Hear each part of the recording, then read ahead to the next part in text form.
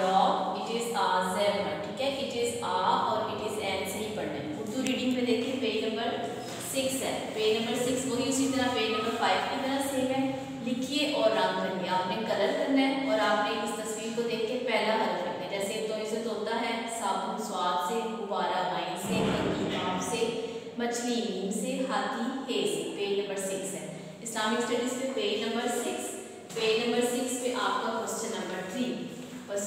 question आप पहले देखें।